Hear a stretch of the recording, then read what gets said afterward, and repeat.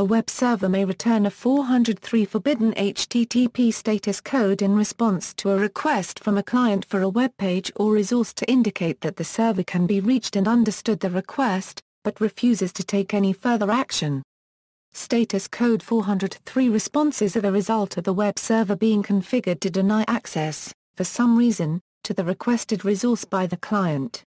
A typical request that may receive a 403 forbidden response is a GET for a web page, performed by a web browser to retrieve the page for display to a user in a browser window. The web server may return a 403 forbidden status for other types of request as well. The Apache web server returns 403 forbidden in response to requests for all paths that correspond to file system directories, when directory listings have been disabled in the server. Some administrators configure the mod proxy extension to Apache to block such requests, and this will also return 403 forbidden. Microsoft IIS responds in the same way when directory listings are denied in that server.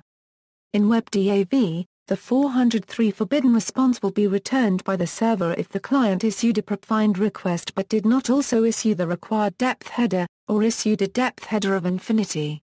403 substatus error codes for IIS, 403.1, execute access forbidden.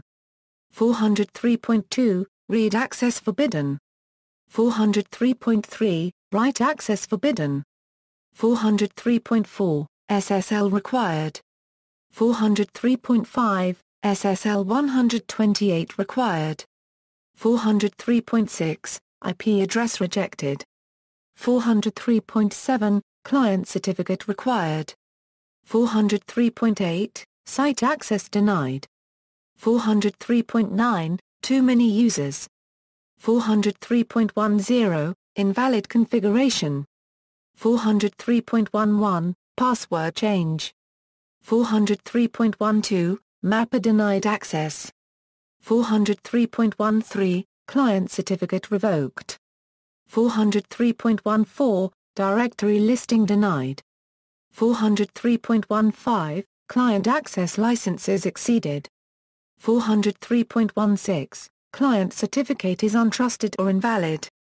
403.17, Client certificate has expired or is not yet valid.